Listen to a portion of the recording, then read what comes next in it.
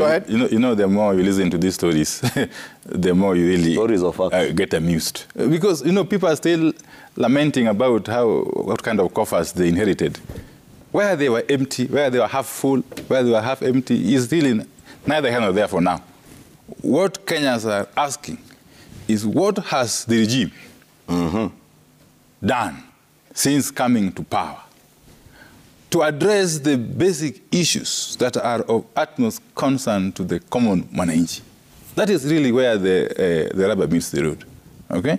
All these lamentations will not solve any problem. We would want to know uh, what is being done to address the rising cost of living. You see, that is the, the, the six million uh, uh, dollar question, uh, Waihiga.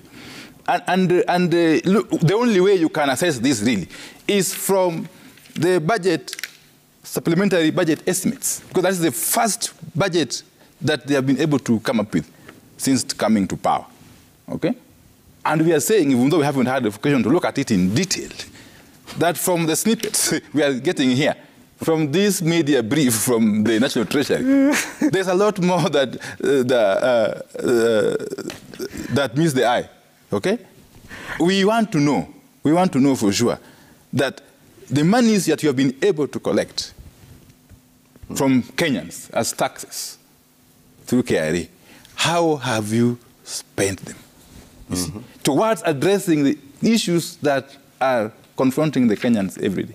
Okay? That- that's the most important thing, really, for me. And therefore, we still insist that we need a breakdown of these uh, so called cuts.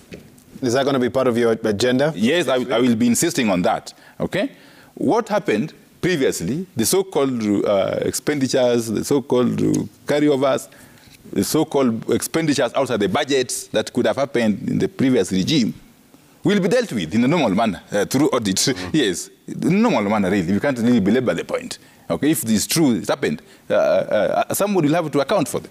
But for now, we want to know what the regime that is in power, that is handling, that is managing taxpayers' money, is doing to address the issues. My concern is that nothing worth talking about is happening. And that is why, really, I'm really looking forward to this engagement next week when we, when we resume our business, yes, on the floor of the House. and as we talk back For and now, forth- we are rather save taxpayers' money, I mean time, yes, by dealing with more substantive issues.